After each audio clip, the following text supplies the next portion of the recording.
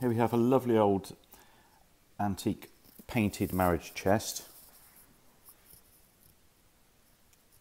It's got the date on it is 1789.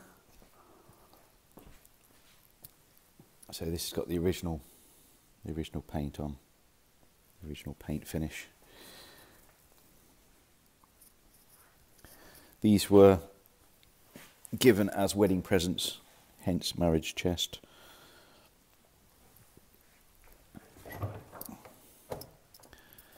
Inside you can see there's the candle box in one corner, in one end. And that's where you used to put the candles, and then your, blank, your blankets and everything would go in in the main part.